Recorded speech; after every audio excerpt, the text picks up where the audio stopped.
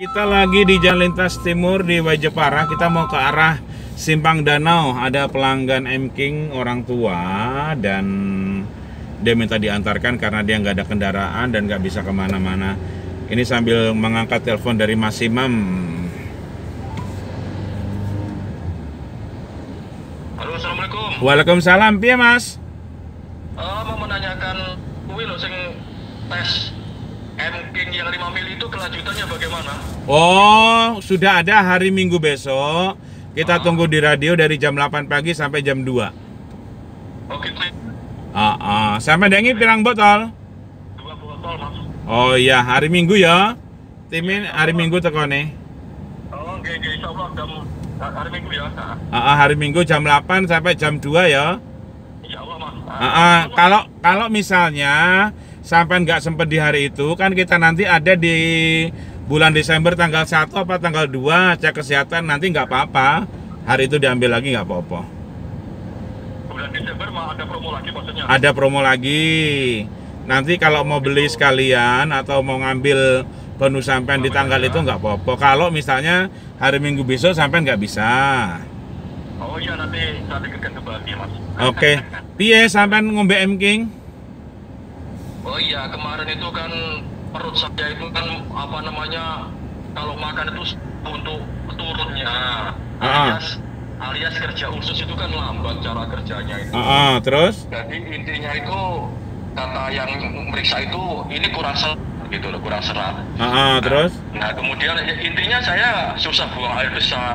Nah setelah minum M, Kim itu tiga kali minum itu sudah langsung turun, maksudnya langsung enak gitu loh. Oh iya iya. ah. Ya, saya, saya mengatakan seadanya ini. Saya langsung mengatakan Ah, nggak apa-apa. Artinya kan Ah. meskipun sampean sudah merasa enak, sampean tetap konsumsi aja sampai habis, Mas. Iya, ini sudah hampir-hampir tinggal satu kali minum lagi ini. Dua botol? Maksud- mak- maksudnya hanya satu botol pertamanya, satu botol pertama. Oh, oke, botol siap, siap. ada. Ah, ah. Ah. Nanti kalau sudah mulai enak, biar sampean nggak terlalu boros, bisa diminum sehari sekali pas mau tidur atau pagi pas bangun tidur, Mas. Nggak apa-apa. Ini sudah mulai enak. Apa kira-kira kalau saya, saya minum sekali sehari nggak apa-apa ya? Enggak, Kak, enggak artinya sampean kan tapi masih kerasa ada nggak enaknya berapa persen? Oh, sudah normal, sudah normal. Duh. Oh, sudah normal. Oh, sudah enak, sudah enak lah, nggak nggak nggak nggak sebah lagi itu loh. Tahu Oh, nggak sebah ya? Iya, anu begah. Untuk duduk nggak enak lah. Oh, se- saya kira enak. Ah, untuk duduk nggak nyaman. Oh, oh, Wah, sekarang ada. udah. Oh ya sudah, kalau gitu kalau aku saranin sih pagi sama malam aja, nggak apa-apa siangnya nggak usah dulu. Oh, ah. tetap 15 tetes, tetap 15 tetes ya. Ya kalau sampean bisa 10 tetes nggak apa-apa biar lebih nggak terlalu boros. Karena tadi sampean bilangnya kan sudah 100% normal kan? Iya, sudah normal, sudah normal. Ya ya sudah sampean buat aja 10 tetes pagi sama malam aja nggak apa-apa. Oh, Mudah-mudahan sih memang benar-benar udah tuntas. Tapi kan pas eh, pastinya kan belum tuntas banget. Iya mungkin belum tepat banget, tapi kayaknya sudah sudah sudah enakan gitu mas. Oh ya wes lah apa-apa. Su- Sudah enakan. Yang Mm-mm. jelas sebelum ah, ah, yang jelas sebelum ini saya sudah ke bidan, ke yang, yang kedua sudah ke dokter. Ke dokter aja kasus habis 135 saya. Oh nggak ada perubahan. Nggak ada dia kayak sama sekali kan perubahan.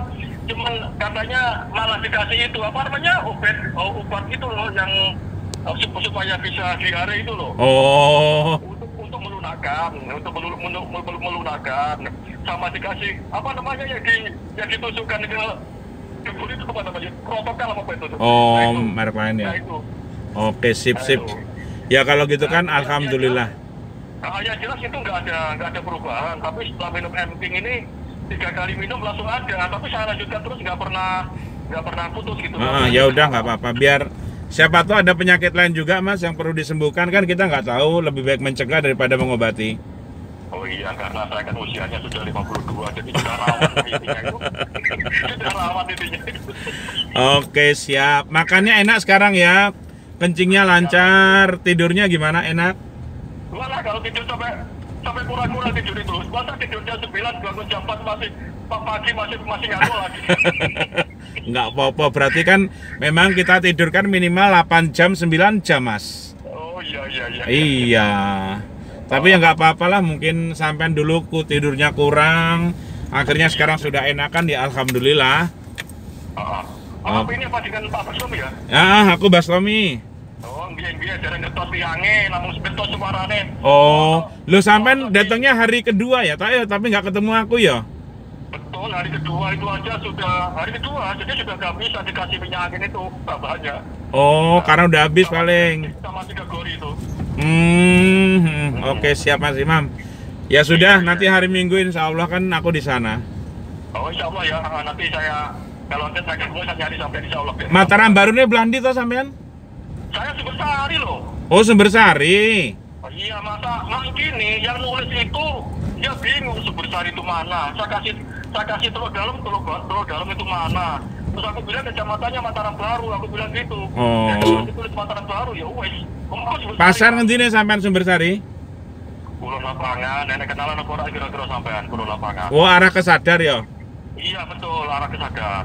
Aku rane kenal kono kenalanku paling gur mek Nur Jahid kae sing duwe kursusan ngarepe Pak Dewan sing di pencang ke penjara kae Oh, anu sing nur nur sing anu ko- komputer kan. ah iya Nur Jahid kae koncoku Oh, ya aku kenal, aku kenal. Aku kulon ujung mas, kulon ujung, hampir ogan, hampir ogan. tapi masuk ke dalam ya pondok ya Eh, pokoknya karo karo pondok kira-kira ya setengah kilo lah. oh, oke itu kan- siap Pondok itu kan komplek kom- pondok itu kan komplek lapangan, jadi saya ke, ke barat lagi kira-kira 300 meter lah. oke siap mas Mhm. Jadi saya dengarkan SGP ini suaranya Pak Pak Bastomi aja setiap jam ada informasi Pak Bastomi.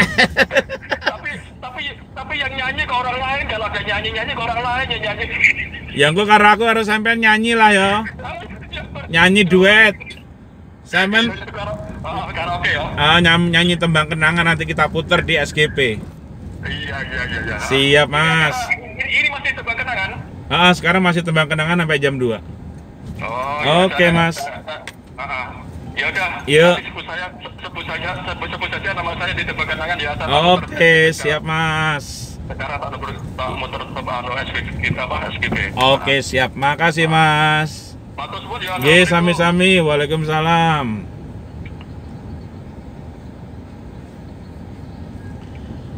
Oke guys, kita sekarang sudah sampai di sini. Masjid apa? Ya, dulurku iki. Masjid rumah dulurku. Tapi masih ke sana. Oke gengs, ini kamera ini kalau jalannya jelek dia gede-gede tapi harus kalau dipegang. Kalau dipegang kok enggak ya? Ya iyalah kalau dipegang. Tuh padahal kan dia juga nggak goyang-goyang banget, tapi kan juga cuman kan megangnya apa harus ada apa gitu yang ini dia biar bagus Ya harus gitu. dikasih ini sejenis Apa? busa kecil. Di mananya? Jadi apa pencantutnya itulah. Sini. Heeh. Eh, ini udah ada busa kecil-kecil. Kurang ya, Ya kurang lah. kurang ajar. Aku di sini ada temen dia buka peternakan ayam bagus banget. Sini. Mm-mm. Ayam kampung apa yang Ayam Plain. Yudhistira. Tapi nantilah tak cekin di mana dia ininya. Ayam potong, lele segar dan konsumsi bukan. Tak teleponin. Dia netesin juga, tapi digedein sendiri dia. Tapi kalau ngingu ayam aku Chan apa jenenge? Apa iki ya? Kayane Tyson?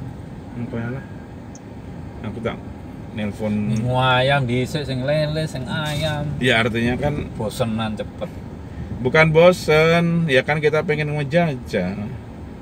M King M King M King. Kemarin kayaknya bapaknya nelpon itu. Wana nyampir. M King Labuan Pasikan. Pesen puyuh bukan Budi Puyuh. M King. Eh, mau beli M King untuk anaknya bukan. M King Duda. Balam Pegal kekurangan 2 M King 5 mili. Meranji. Pesen burung. Eneng-eneng ya pesen burung puyuh barang karo aku. Kita ini arah mau ke masuk ke lapan simpang danau ya guys Kita ini eh, jalannya lagi ini apa? lagi jelek. apa oh iya Lagi Tuh. berlubang. Jadi eh, kamera HP-nya. Goyang-goyang. Goyang dangdut. Goyang dong bret. Kita Goyang dong bret. bukan mingguan tapi jumatan. iya ya Jumatan bukannya ke masjid loh ini. tapi Tapi aku nanti di SGP mau bikin Ya. acara ini suara muslim. Ah. Jadi jam 11 sampai jam 2 siang itu mengupas tentang Tentang religi. sholat Jumat religi lah. Eh, Jumat. Tentang Islami lah Tentang pokoknya. Islami. Jadi eh, seperti apa Bisa. jumatan itu sunnah atau Apa wajib? ah, rukunnya apa rukunnya. gitu. Bukan rukun. Iya rukun. Iya maksudnya sunnah apa wajib? Ah, Maksudnya ah. itu ketentuannya hal-hal yang harus diharuskan atau eh, misalkan di, misalkan dilaksanakan bagus Tidak. sibuk ya juga nggak apa-apa kalau itu sunnah kalau wajib kan harus enggak Oh, dengan iya, ya. katanya sholat lima waktu itu karena kan wajib i- iya. itu yang di YouTube Kemarin dengar-dengar juga di YouTube kayaknya di Al-Qur'an nggak ada yang jurus perintah yang sholat lima waktu itu ya. iya, oh, itu Dan Anda mendukung ada. itu ya. Anda Ya, mendukung. sa- saya nggak mendukung maksudnya saya itu eh, ya sharing meneruskan Iya, ya, memang sih kan udah diakui bahwa di Al-Qur'an itu kan nggak ada yang perintah untuk sholat lima waktu nggak ada. nah terus itu gimana kesimpulannya Ya kesimpulannya, aduh harus orang-orang yang berpakar. Ya, Aku berarti- aja, berarti gini. Aku, aku aja banyak yang bolong loh. begini bang bang Bastomi berarti Kenapa? intinya sama seperti yang sebelumnya kita bicarakan yang seperti sholat Jumat itu hukumnya seperti apa sih sunat paros